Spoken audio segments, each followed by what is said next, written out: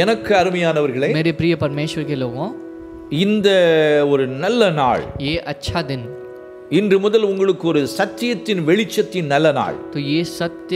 की सत्य की सत्य की जो ज्योति है उसका अच्छा दिन है உங்கள் எல்லாருக்காகவும் तुम सभी लोगों के लिए இந்த சத்திய வெளிச்சம் என்ற இந்த பைபிள் ஸ்டடியை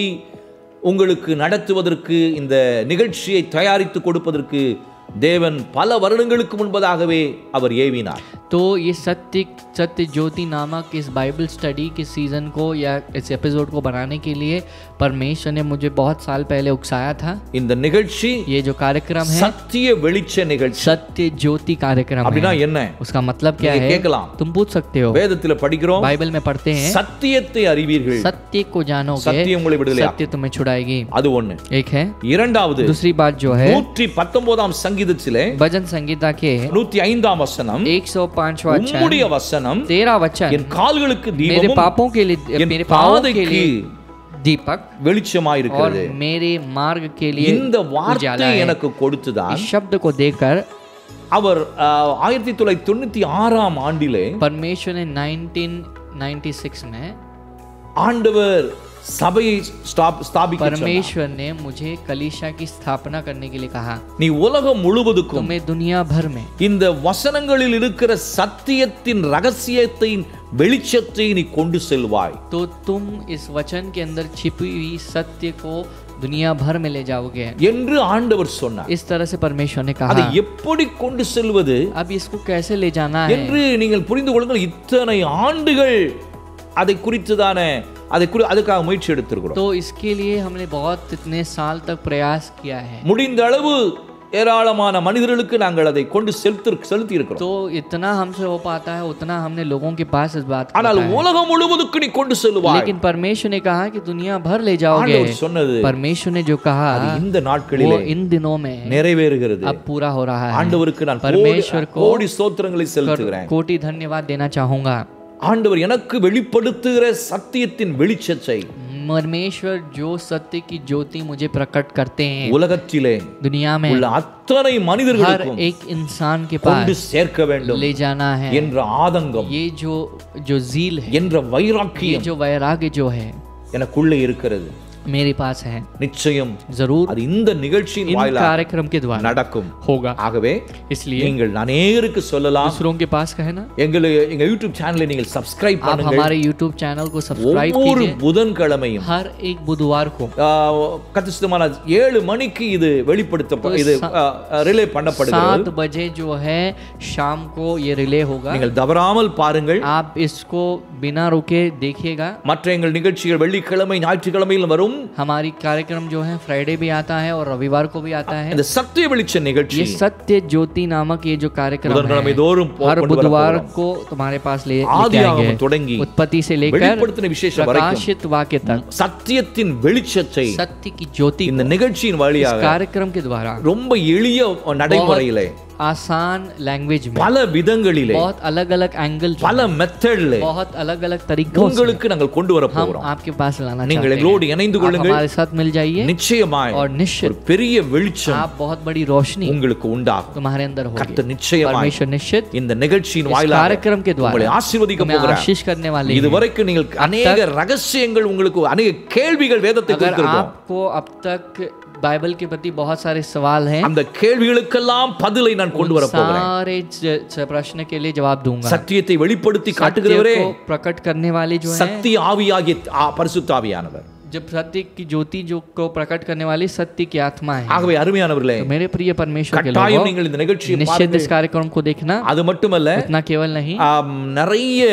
ஆம், முக்கியமான எனக்கே ம், ஆ, தெரியாத விளங்காத சில வசனங்கள் எல்லாம் இன்றைக்கு கர்த்தர் அதை குறித்த வெளிப்பாடை கொடுத்திருக்கிறார் तो परमेश्वर ने बहुत सारे वचन का अर्थ मुझे पता नहीं था उन सारी चीज़ों के अर्थ को परमेश्वर ने दिखाया है நாம் பரம்பரை பரம்பரையா பல வருடங்களாய் சில வசனங்களை கேட்டிருக்கிறோம் ஆனால் அதில் பிற ரகசியங்களை நாம் அறியாமல் இருந்திருப்போம் तो हम बहुत सालों से बहुत संतानों में से हमने जनरेशन से वही वचन को सुना होगा लेकिन उस वचन की रहस्य को नहीं समझते थे அதை குறிச்செல்லாம் उसके बारे में இந்த நிகழ்ச்சியில इस பார்க்க सारे போகிறோம். कार्यक्रम में हम देखने वाले हैं நிச்சயமாய் निश्चित ஒரு பெரிய बहुत ஆசீர்வாதம் बड़ा आशीर्वाद உங்களுக்கு வரப்போகுது आपके पास आने वाला है கர்த்தர் உங்களை परमेश्वर तुम्हें நிச்சயம் निश्चित ஆசீர்வதிப்பார் आशीष करेंगे ஆமே आमेन எனக்கு அருமையானவர்களே मेरे प्रिय परमेश्वर के लोगों இந்த ஒரு நல்ல நிகழ்ச்சியிலே உங்களை சந்திப்பதிலே பெருமகிழ்ச்சி அடைகிறேன் इस अच्छे कार्यक्रम के द्वारा तुमसे मुलाकात करने में मैं बहुत खुश हूँ இது ஒரு விசேஷமான ஒரு நிகழ்ச்சி ये जो है एक बहुत विशेष तौर का एक कार्यक्रम है இந்த இந்த நிகழ்ச்சியினுடைய இந்த தலைப்பு தலைப்பு சத்திய வெளிச்சம் और ये जो कार्यक्रम की जो अ, जो हेडिंग जो है टाइटल है सत्य ज्योति जो है இந்த பெயரை ஆயிரத்தி தொள்ளாயிரத்தி தொண்ணூற்றி ஆறாம் ஆண்டிலே கர்த்தர் கொடுத்தார் तो परमेश्वर ने इस नाम को 1996 में दिया இந்த சத்திய வெளிச்சம் என்ற வார்த்தையில் நிறைய ரகசியங்கள் அடங்கியிருக்கிறது तो ये सत्य ज्योति नामक ये जो शब्द है इसमें बहुत सारे रहस्य छिपे हुए हैं அதற்கு அஹ், வேதத்திலே வசனங்கள் உண்டு और इसके आधार में बहुत सारे बाइबल में वचन हैं ஆஹ், இயேசு கிறிஸ்து சொல்லும் பொழுது சத்தியத்தை அறிவீர்கள் சத்தியம் உங்களை விடுதலையாக்கும் என்று யோவான் சுவிசேஷ புஸ்தகத்தில் சொல்லியிருக்கிறார் तो यीशु मसीह जब कहते हैं तो यीशु ने कहा सत्य को जानोगे सत्य तुम्हें छुड़ाएगी योना के सुख समाचार में लिखा गया है இன்னும் நூற்றி பத்தொன்பதாம் சங்கீதத்திலே நாம் வாசிக்கும் பொழுது நூற்றி பதினைந்தாம் வசனம் என்று நினைக்கிறேன் ஆஹ், அவருடைய வசனம் நம்முடைய கால்களுக்கு தீபமும் பாதைக்கு வெளிச்சமுமாயிருக்கிறது तो इस तरह से भजन संगीता के 119वें अध्याय के 105वां वचन में स- अ, ज- सोच रहा हूँ वचन जो है ज्योति है मेरे लिए और मेरे पाँव के लिए दीपक बनकर है இந்த நிகழ்ச்சியிலே इस कार्यक्रम के द्वारा முக்கியமாய் நாம் அறிந்து கொள்ள போகிற நிறைய விஷயங்கள் இருக்கிறது तो इस कार्यक्रम में बहुत सारी चीज़ों को हम जानने वाले हैं ஆம், இந்த நிகழ்ச்சியில இன்றைக்கு நாம் பார்க்க போகிற சில ரகசியங்கள் तो इस कार्यक्रम में आज हम बहुत सारे रहस्यों को सीखने वाले हैं ஏனென்றால் क्योंकि வேதம் முழுவதும் வசனங்களா இருக்கிறது पूरे बाइबल में सिर्फ केवल वचन भरे हैं வசனம் வேறு वचन अलग है சத்தியம் வேறு और सत्य अलग है வசனம் என்பது वचन जो होता है எழுதப்பட்ட தேவனுடைய வார்த்தை ये जो है लिखी गई परमेश्वर का शब्द है அதை அஹ், எபிரேய அந்த மொழியிலே இப்ப சொல்லும் பொழுது லோகோஸ் என்று சொல்லுவார்கள் और इब्रानियों के टर्म्स में यदि कहना चाहेंगे तो लोगोस करके लिखा गया है ஆனால் சத்தியம் என்றால் लेकिन सत्य जब कहते இந்த हैं எழுதப்பட்ட தேவனுடைய வார்த்தைக்குள் மறைந்திருக்கிற ரகசியங்களாகிய உண்மைகள் और जब सत्य कहते हैं तो जो लिखी गई शब्द है उसके अंदर जो रहस्य छिपे हुए हैं उसे हम सत्य कहते हैं நிறைய முறை நாம் வேதத்தை படிக்கும் பொழுது बहुत बार जब हम बाइबल को पढ़ते हैं நிறைய விஷயங்கள் நம்மளால் புரிந்து கொள்ள முடியும் बहुत सारी चीजों को हम समझ नहीं पाते இந்த வேத வசனத்தை நன்றாக புரிந்து அதுக்குள் மறைந்திருக்கிற அந்த சத்தியத்தை நாம் அறிந்து கொண்டால் जब बाइबल के वचनों को सही से समझ लेते हैं और उसके अंदर जो रहस्य है उसे हम समझ लेते हैं और जान लेते हैं நான் என்றால் லோகோஸ்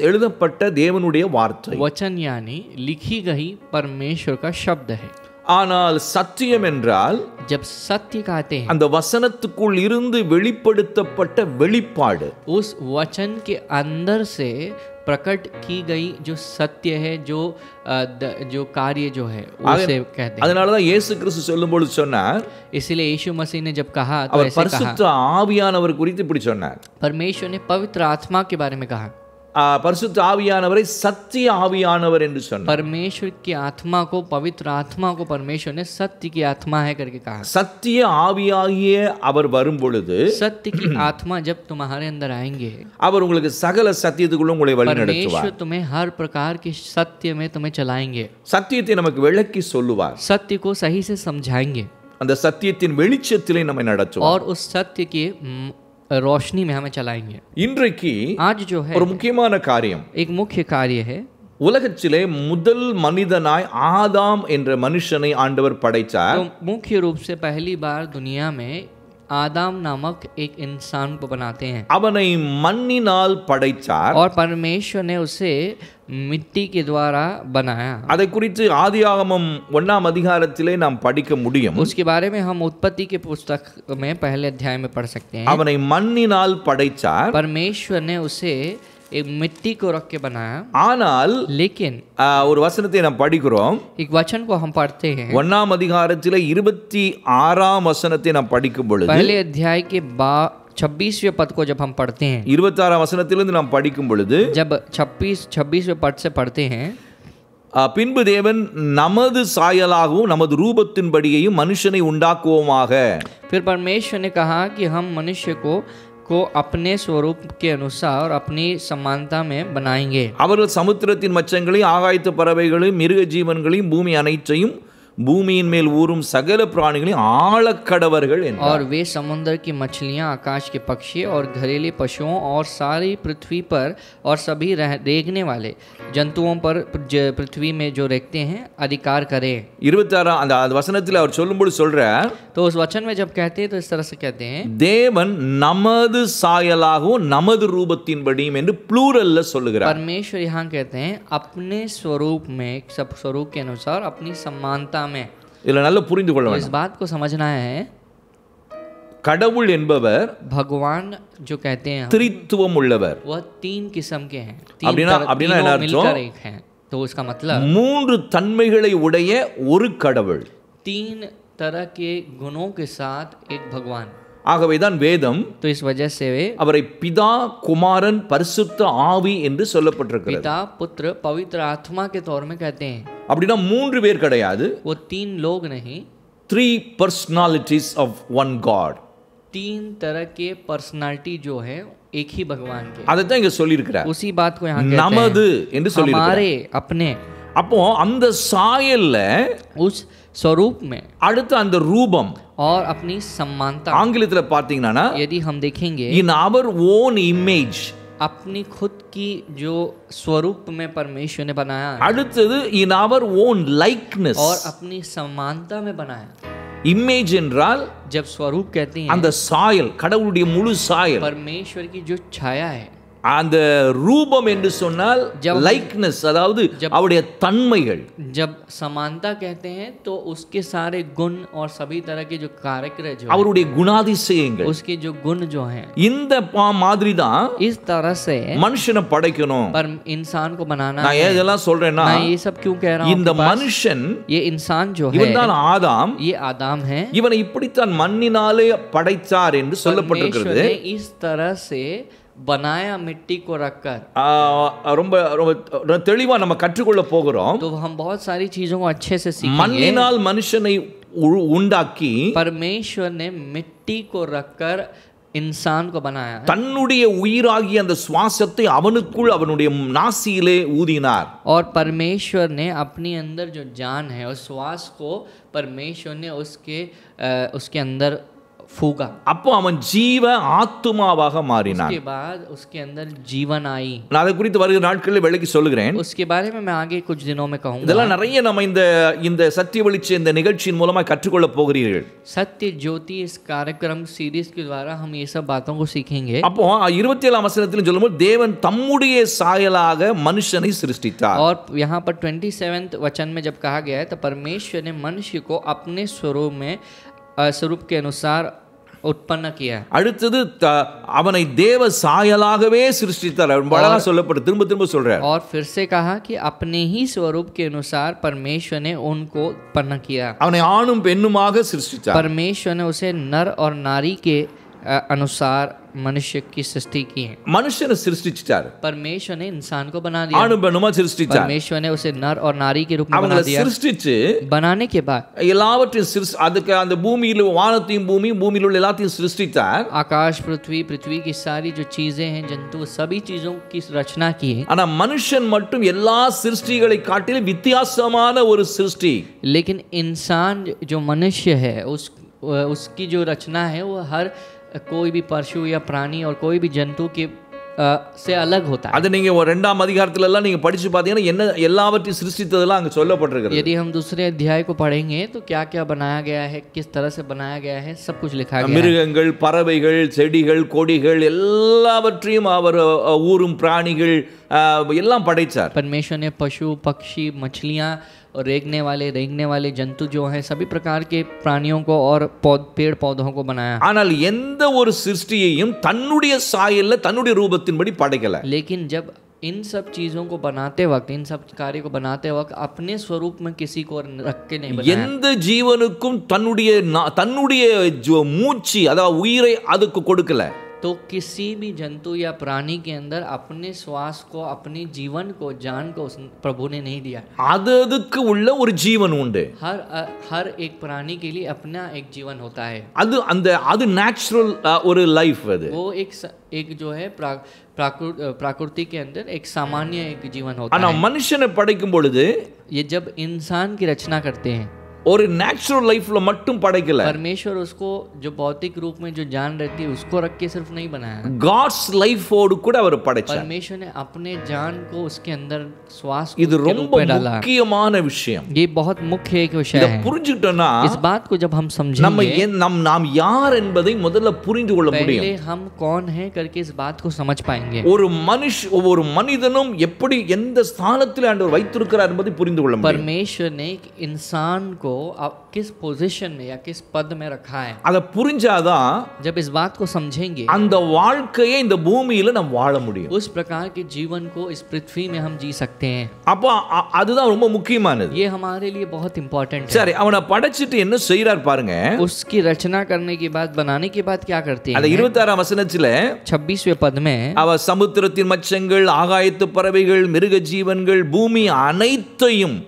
பூமியின் மேல் ஊறும் சகல பிராணிகளும் ஆழக்கடவர்கள் என்றார் और परमेश्वर परमेश्वर ने समुद्र की मछलियाँ और सभी पर आकाश की पक्षियाँ घरेलू पशु पशु और सारी पृ- पृथ्वी पर और सभी रेंगने वाले जंतु जो पृथ्वी में रेंगते हैं सब पे अधिकार कर- करने के लिए परमेश्वर ने बनाया ஆளுகை செய்யும்படி अधिकार रखे या करने के டு लिए rule over the whole earth அதுதான் ஆ, மனுஷனுக்கு ஆண்டவர் கொடுத்த அந்த ஸ்டேட்டஸ் परमेश्वर ने इंसान को क्या स्टेटस दिया ताकि वह हर एक विषय पर हर एक कार्य पर अधिकार करे पृथ्वी पर அப்படின்னா என்ன அர்த்தம் ரூலிங்னா என்ன அர்த்தம் अधिकार करना या नहीं இப்போ ஒரு யானையை பார்த்து अभी एक हाथी को இங்க देखा है। வானா அது வந்து தான் ஆகணும் अगर उसको आने के लिए बोलता है इंसान तो उसे आना चाहिए அது போனா போய் தான் ஆகணும் जब जा करके कहते हैं तो जाना चाहिए கடலுக்குள் இருக்கிற மீன் மேலே அதிகாரம் கொடுத்தார் जो मच्छी उसके जो मछलियां जो समुद्र के अंदर बहती हैं या जो जाती हैं பற वो பற उनके ऊपर अधिकार दिया है ப- ப- ப- நீங்க கடல்ல பாத்தீங்கன்னா திமிங்கலங்களை போன்ற பெரிய பெரிய மீன்கள் எல்லாம் இருக்குது और यदि हम मछलियों को देखेंगे तो बड़े बड़े वेल करके बहुत बड़ी बड़ी मछलियां रहती हैं க- கப்பல்களையே கவிழ்த்து போடக்கூடிய அளவுக்கு சக்தி வாய்ந்த மீன்கள் அவைகள் எல்லாம் बड़े बड़े हा- जहाजों को जो जहाज रहता है उनको पलटने वाली शक्ति के साथ वो मछली है அவைகள் மேலே அதிகாரத்தை கொடுத்தார். परमेश्वर ने ऐसे मछलियों के ऊपर भी अधिकार दिया है। அவைகளும் இவன் சொன்னபடிதான் கேட்கணும் और ये जो इंसान कहता है उस मनुष्य की बातों को उसे सुनना है ஏன் क्यों இவன் தேவனுடைய சாயரின்படி ரூபத்தின்படி படைக்கப்பட்டவன் क्योंकि ये इंसान जो है परमेश्वर की स्वरूप में और उसकी समानता में बनाया गया है அடுத்தது நீங்க இருபத்தி எட்டாம் வசனம் படிச்சீங்கன்னா यदि हम 28वें वचन को பின்பு पढ़ेंगे தேவன் அவர்களை நோக்கி परमेश्वर ने उनको देखकर நான் ஃபர்ஸ்ட் பாயிண்ட் சொல்லிட்டேன் पहले मैंने कह दिया என்ன ஸ்டேட்டஸ்ல மனுஷனை படைத்தார் परमेश्वर ने किस पद में मनुष्य को रखा और बनाया இந்த ஹோல் எர்த்தையும் ஆளுகை செய்யும்படி அவனை படைச்சார் तो पूरे पूरी जो दुनिया के ऊपर अधिकार करने के लिए परमेश्वर ने बनाया நான் है சொல்ற பாயிண்ட்களை நீ கவனமா கவனிச்சு வச்சுக்கணும் मैं जो यहाँ पर कुछ सूचियों को कह रहा हूँ उसे ध्यान से लिख के रखिएगा அப்பதான் நான் இன்னும் சொல்ல போகிற பின்னாடி சொல்ல போகிற விஷயங்கள் எல்லாம் உங்களுக்கு புரியும் அப்பதான் तब जब आगे मैं कुछ बातें कहूँगा तो आप रिलेट कर पाएंगे और समझ में आएगा आपको அதுதான் ரொம்ப முக்கியம் ये जो है बहुत इंपॉर्टेंट நீங்க है இதை விட்டுட்டீங்கன்னா நான் இன்னால பின்னால விளக்கி என்ன சொல்ல போறேங்கிற சத்தியம் உங்களுக்கு விளங்காம போயிடும் यदि आप इस बात को छोड़ देते हो तो पीछे आ या आगे जो मैं बताऊंगा वो सत्य आपको समझ में नहीं आएगा இங்க இருபத்தெட்டாம் வசனத்துல यहाँ अट्ठावीसवें पद में பின்பு தேவன் அவர்களை நோக்கி फिर परमेश्वर ने उनको அடுத்த என்ன செய்- என்ன கொடுக்குச்சு என்ன சொல்ற क्या कहते हैं நீங்கள் பலுகி பெருகணும் को आशीष दी और उनसे कहा कि फलो और फलो फलो फूलो और फलो ஆங்கிலத்தில் be fruitful and be increased और फ- पृथ्वी पर फूले फूलना और फलना पृथ्वी को भर जाओ पृथ्वी में भर जाओ அடுத்தது பூமியை நிரப்பணும் पृथ्वी में भर जाओ அடுத்தது அதை கீழ்ப்படுத்தணும் उनको अपने वश में कर लो சப்டியூயிங் अपने वश में करना அடுத்தது और சமுத்திரத்தின் சமுத்திரத்தின் மச்சங்களை ஆகாயத்து பறவைகள் பூமியின் மேலும் நடமாடும் சகல ஜீவ ஜந்துகளை ஆண்டு கொள்ளுங்கள் ரூல்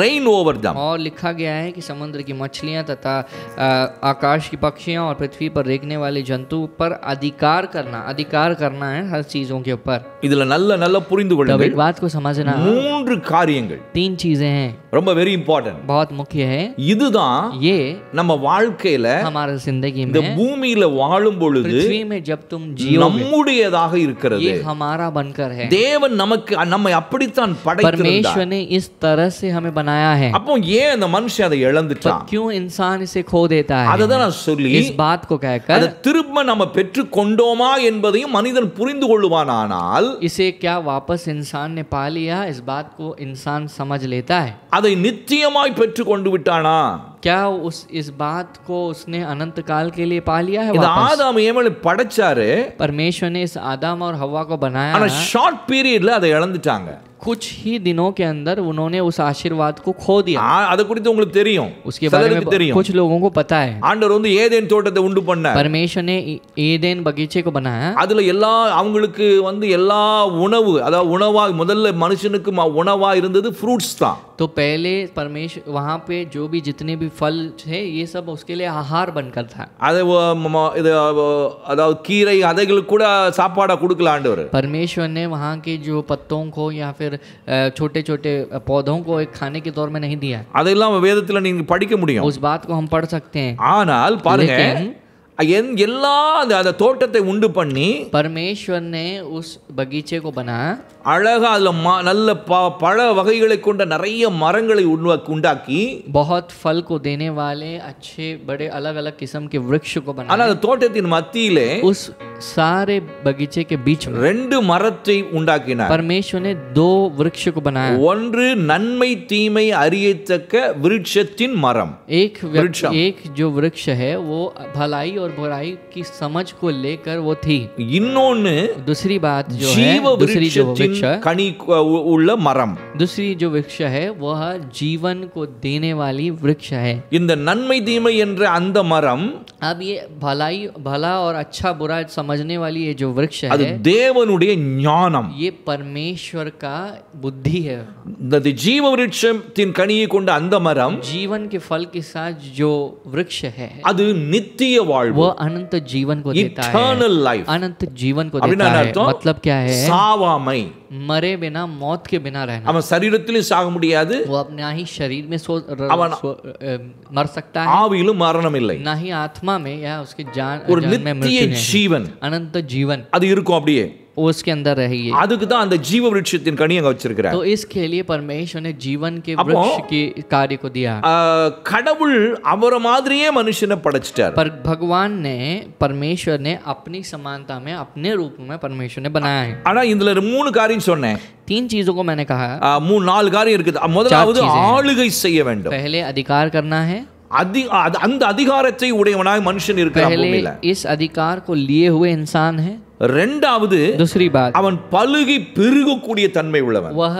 फलता है फूलता है और पृथ्वी को भरता है அத ப்ரொடக்டிவிட்டி यानी वह उत्पन्न उपज को देता है அண்ட் மல்டிப்ளிகேஷன் और बढ़ते हुए जाता है அவன் பெருகிக் கொண்டே वो இருப்பான் बढ़ते हुए जाता है அவனை வந்து கு- குறுக பண்ணவே முடியாது उसे ना कोई भी चीज उसे घटा नहीं सकती कम नहीं எல்லா कर सकती விஷயத்திலும் அவன் பழுகி பெருகுவான் वह हर एक विषय में फूलता है फलता है அதுதான் இருபத்தி எட்டாம் வருஷம் பழுகி பெருக வேணும் इसीलिए लिखा गया है फूलना है फलना है அது இங்கிலீஷ்ல be fruitful and increasing and be increased फल फल देना और अपने सीमाओं को बढ़ाना அப்ப உன்னுடைய பெருக்கத்தினால பூமியை நிரப்பணும் நீ. तुम्हें अपने बहुताई को रख के आप पृथ्वी को भरना है அது இனவிருத்தியும் கூட वो एक तरह से पॉपुलेशन को बढ़ाना जो होता है அ- அந்த இது- அதையும் அவனுக்குள்ளே அந்த கெப்பாசிட்டியை மனுஷன் வடிச்சார் மனுஷன் परमेश्वर வச்சார் ने इस तरह की कैपेसिटी को भी रखा है அடுத்தது तिस अगली बात எல்லாத்தையும் சப்டியூ பண்ணும் हर கீழ்ப்படுத்திக் एक கொள்ளும் चीज को अपने वश में करना அதை விட்டுறக்கூடிய மேம் उसे எதுவும் छोड़ना உனக்கு नहीं மேல வர உன் அதிகாரத்துக்கு மேல வரக்கூடாது कोई भी चीज को तुम्हारे अधिकार के ऊपर या तुम्हें अधिकार करने के लिए तुम्हें अनुमति नहीं அது देना है சமுத்திரத்துல உள்ளதா இருந்தாலும் वे சரி चाहे ब- अ, समुद्र की चीजें रहे பூமியில் இருக்கிற பிளெயின் லேண்ட்ல இருக்கிறதா இருந்தாலும் சரி चाहे वो पृथ्वी में भूमि में रहने वाली कार्य रहे ஆகாயத்தில் உள்ள பறவைகள் எதுவா இருந்தாலும் या आकाश में रहने वाले पक्षी कोई भी प्रकार के प्राणी रहे எல்லாம் இவனுடைய அந்த அந்த ஆளுகைக்கு கீழே தான் இருக்கணும் तो हर एक कार्य इसके वश में रहता है उसके अधिकार में இப்படித்தான் ऐसे மனிதனை इंसान को படைத்தார். परमेश्वर ने बनाया நல்லா புரிஞ்சுக்காங்க समझो இப்போ अभी இவன் இப்படி இருக்கும் பொழுது जब ये ऐसा था திடீரென்று अचानक அதான் से மூணாம் அதிகாரத்துல பார்க்கிறோம் तीसरे अध्याय में हम पढ़ते हैं அங்கு சர்ப்பம் वहां पर एक सांप பாம்பு सांप जो है ஏவாளை சந்திக்கிறது वह हवा से मुलाकात करता है ஏவாளை சந்திச்சு हवा को मिला के बोलती है ஆண்டவர் வந்து बोलता है ஆ- ஆ- ஆண்டவர் ஒரு காரியத்தை சொல்லியிருந்தார் परमेश्वर ने कार्य को कहा இந்த மர இந்த எல்லா மரத்தின் கனியும் நீ புசிக்கலாம் तुम जो है इस वृक्ष के इस पेड़ इस ब- बगीचे के हर एक वृक्ष के फल को पा सकते हो खा ஆனா- सकते हो ஆனால் लेकिन இந்த தோட்டத்தின் மத்தியில் இருக்கிற இந்த நன்மை தீமை அறியத்தக்க விருட்சத்தின் கனியை புசிக்க கூடாதுன்னு சொன்னார் लेकिन इस बगीचे के बीच में जो भलाई और अच्छा बुरा जो अच्छा और अच्छाई और बुराई की जो समझ को देने वाली उस वृक्ष के फल को नहीं खाना है ஆ, இன்னொரு வேலையும் அவனுக்கு கொடுத்திருந்தார் परमेश्वर ने साथ साथ और एक काम को दिया ஆதியாகமம் இரண்டாம் அதிகாரம் பதினஞ்சாம் வசனத்திலே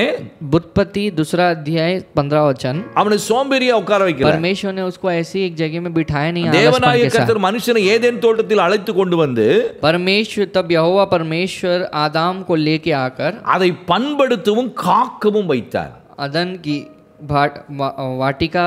में रख दिया और उसमें काम करने और उसकी रक्षा करने में रखा அவனுக்கு ஒரே ஒரு வேலை தான் கொடுத்தார் तो परमेश्वर ने एक ही काम दिया उसको அதை வந்து மெயின்டெனன்ஸ் பண்றது पर उसको सही तरह से संभालना எல்லாத்தையும் வ- உண்டாக்கி அழகா கொடுத்துட்டு परमेश्वर सुंदर तरीके से हर चीज़ों को बनाते हैं और देते हैं उसके पास இந்த நான் கொடுத்ததை பண்படுத்தி அதை மெயின்டைன் பண்ணிக்கோ मैंने जो दिया है उसे सही से संभालना उसकी रक्षा करना और उससे सुरक्षित रखना அதை பாதுகாத்துக்கோ और उसके काम करना और उसे बचा लेना உனக்கு நான் கொடுத்த அந்த மகிமையான இந்த ஆசீர்வாதமான இந்த வாழ்க்கையை நீ காத்துக்கொள் मैंने तुझे जो जीवन दिया है इस महिमा से भरी जीवन को सुरक्षित रखे रहना இன்னைக்கும் பாருங்க आज भी देखो நம்ம நாங்க- நமக்கு ஆண்டவர் நிறைய நிறைய காரியங்களை செய்வார் परमेश्वर हमारे जिंदगी में बहुत सारी चीजें करती हैं அதை வந்து நம்ம மெயின்டைன் பண்ணக்கூடிய முடியாத அளவுக்கு சில மனிதர்கள் நிறைய பேர் இருப்பாங்க कुछ लोग जो हैं उस चीजों को यहाँ तक संभाल के भी नहीं रख पाते ஆண்டவர் கொடுக்கிற ஆசீர்வாதங்களை முதல்ல மெயின்டைன் பண்ண பழகணும் परमेश्वर जो आशीर्वाद तुम्हें देते हैं उसे सही से संभाल के रखने के लिए सीखना है அடுத்தது அதுக்கு வந்து நீ சேஃப் கார்டா நீ தான் இருக்கணும் और उसकी रक्षा करने के लिए तुम्हें ध्यान देना है அதை நஷ்டப்படுத்தி விடக்கூடாது उसे बेकार में नहीं डाला இந்த ஒரு வேலையை தான் கர்த்தர் கொடுத்தார் परमेश्वर ने एक ही काम दिया उसको அவனுடைய ஆசீர்வாதத்தெல்லாம் அவர் சம்பாத்தியம் பண்ணி வச்சுட்டார் परमेश्वर ने उसकी जो आशीर्वाद है परमेश्वर ने कमा के उसको दे दिया அவன் போய் செடியை உண்டாக்கல மரத்தை உண்டாக்கல பழத்தை உண்டாக்கல आदम जाकर एक पौधे को नहीं बनाता ना ही वो जाके वृक्ष को बनाता है फल को बनाता है कोई भी चीजों को नहीं அந்த बनाता தோட்டத்திலிருந்து நாலு நதிகள் புறப்பட்டு ஓடுகிறது उस बगीचे में से चार प्रकार की नदी बहती थी பாருங்க எவ்வளவு செழிப்பாய் அவனை तो வைத்து परमेश्वर ने कितने हष्ट पुष्ट जीवन के साथ रखा है இது போதாதுன்னு சொல்லி और ये काफी नहीं है कहकर அவர் ஆண்டவர் என்ன செய்வார் परमेश्वर क्या करते हैं அவர் வந்து எப்பொழுதும் அந்த தோட்டத்துக்கு வருவார் परमेश्वर ये हमेशा उस बगीचे में आते हैं குளிர்ச்சியான வேளையில அவர் வந்து பகல்ல அப்படியே வந்து உலாவி வருவார் ठंडक मौसम में उस समय में यीशु मसीह वहां पर परमेश्वर वहां पर आते हैं அத மூணாம் அதிகாரம் எட்டாம் வசனத்துல பாக்குறோம் तीसरे अध्याय के आठवें पद में देखते हैं பகலில் குளிர்ச்சியா குளிர்ச்சியான வேளையிலே தோட்டத்தில் உலாவுகிற தேவனாய் கர்த்தருடைய சத்தத்தை அவர்கள் ஆதாம ஏவாலும் விழுந்து போன பிறகு கேட்குறாங்க அதை तब यहोवा परमेश्वर जो दिन की ठंडक समय में बाटिका में फिरता था उसका शब्द उनको सुनाई दिया நல்லா புரிஞ்சுக்காங்க ध्यान से सुनो எல்லா ஆசீர்வாதத்தையும் உண்டாக்கிட்டு परमेश्वर ने हर प्रकार के आशीर्वाद को बनाया தன்னை படைத்த கடவுளோடு நடக்கிற உலாவுகிற அந்த ஃபெலோஷிப் அண்ட் ரிலேஷன்ஷிப்பையும் அங்கே வைத்திருந்தார் तो यहाँ पर परमेश्वर ने अ, परमेश्वर ने ऐसे एक संगति को रखा एक रिश्ते को रखा जहाँ पर परमेश्वर और इंसान मिलजुल के अ, जाते हैं और एक अच्छे बातों को करते हैं और संघर्ष क्लोज रिलेशनशिप को रखा இதுல இருந்து என்ன சத்தியம் இதுல ஒரு சத்தியம் இருக்குது इसमें भी एक सत्य छिपा है எல்லாத்துலயுமே வசனத்துக்குள்ள சத்தியம் அடங்கி हर இருக்குது. वचन के अंदर सत्य छिपा இப்ப हुआ है மேலோட்டமா அவர் வந்தாரு பார்த்தாரு உலாவினாரு அப்படின்லாம் நம்ம போயிட முடியாது तो आर, आसानी से परमेश्वर आए वहाँ यहाँ फिर रहे थे चले गए ऐसा नहीं होता है இதுல ஒரு பெரிய ரகசியம் तो இருக்குது इसमें एक बहुत बड़ा रहस्य है ஆசீர்வாதங்களை கொடுத்தார் परमेश्वर ने आशीर्वादों को दिया है அதை அனுபவிக்கும்படி தன்னுடைய சாயல்ல படைச்சு அவரை வைத்திருக்கிறார் उसका अनुभव करने के लिए परमेश्वर ने इंसान को बनाया अपने स्वरूप में और असमानता में और रखा அவன் தேவ சாயல்ல இருந்தாலும் परमेश्वर के स्वरूप में रहने के बावजूद भी அவரோடு உலாவி நடக்க வேண்டும் परमेश्वर के साथ यहोवा के साथ फिरना है उसके साथ चलना है அந்த intimate close relationship with God and the creator of man तो परमेश्वर के साथ संगति रखना परमेश्वर के साथ एक गहरे रिश्ते में जाना जो होता है that is very very important ये बहुत मुख्य है இந்த ரிலேஷன்ஷிப் தான் நம்மளை கடைசி வரைக்கும் சகல நன்மைகளிலும் நம்ம அழகா கொண்டு போயிட்டே இருக்கோம் ये जो प्रकार का जो कार्य जो है जो रिश्ता है हमें सब भलाइयों में हर एक चीज़ों में परमेश्वर में हमें चलाएगी அங்க பாருங்க அவர் உலாவி வருகிறார் परमेश्वर फिरते हैं यहाँ அது எவ்வளவு நல்லா இருக்கு பாருங்க देखिए कितनी अच्छी बात है ஆண்டவர் தோட்டத்திலே உலாவி வருகிறார் परमेश्वर उस वाटिका में फिर रहे हैं அப்போ இதுதான் ரொம்ப முக்கியம் तो ये बहुत इंपॉर्टेंट है அவருடைய அவருடைய சத்தத்தை ஆதாம் கேட்கிறான் उसकी आवाज को आधाम सुनता है பாருங்க देखिए ஆண்டுடைய சத்தத்தை கேட்க முடியுது परमेश्वर की आवाज को सुन पाता அவருடைய है பிரசன்னத்தை அவன் उसके- பார்க்க முடியுது प्रसन्न को समझ पाता है நான் நம்புறேன் அவனும் அவரோடு கூட உலாவி मैं போயிருப்பான் विश्वास करता हूँ कि मैं वो भी उसके साथ मिलके फिरता होता है அதனாலதான் फिर அவன் रहा பா- होता அவன் இப்ப அந்த பழத்தை சாப்பிட்டு விழுந்து போன பிறகு அந்த சத்தத்தை கேட்ட பொழுது அவன் தன்னை ஒ- ஆண்டவர் கூட ஆதாமே நீ எங்க இருக்கிறேன்னு தேடுறாரு तो ஃபெலோஷிப்புக்கு தேடுறாரு तो जब फल को खाकर आदाम छिप रहा था परमेश्वर से तो आदाम की खोज में परमेश्वर उस रिश्ते को बनाने के लिए बात करने के लिए उसे बुलाते हैं कहाँ है तू எனக்கு அருமையானவர்களே मेरे प्रिय परमेश्वर के நல்லா புரிந்து लोगों கொள்ளுங்க एक बात को समझ நமக்கு लेना எவ்வளவுதான் ஆசீர்வாதங்கள் இருந்தாலும் चाहे कितनी भी आशीर्वाद हमारे अंदर ஆண்டவர் रहे நமக்கு எவ்வளவு நன்மைகளை கொடுத்தாலும் परमेश्वर कितनी भी भलाइयां हमें देंगे எந்த உயர்ந்த ஸ்தானத்தில் நம்மளை परमेश्वर வைத்திருந்தாலும் कोई भी पद में हमें रखे ஒரு காரியத்தை एक மறந்துடக்கூடாது बात को भूलना नहीं है all the worldly blessings without his relationship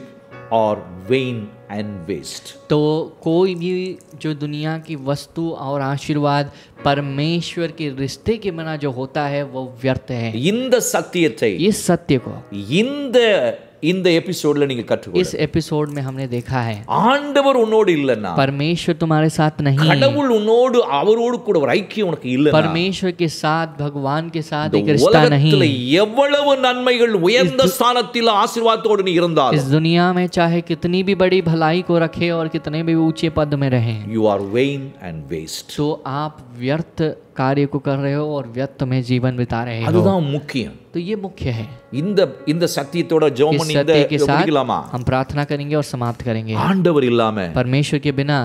ஆசீர்வாதங்கள் आशीर्वाद जो இருந்து है பிரயோஜனம் இல்லை रहकर फायदा नहीं ஃபர்ஸ்ட் காட் पहले परमेश्वर அண்ட் ஹிஸ் ரிலேஷன்ஷிப் और उसकी जो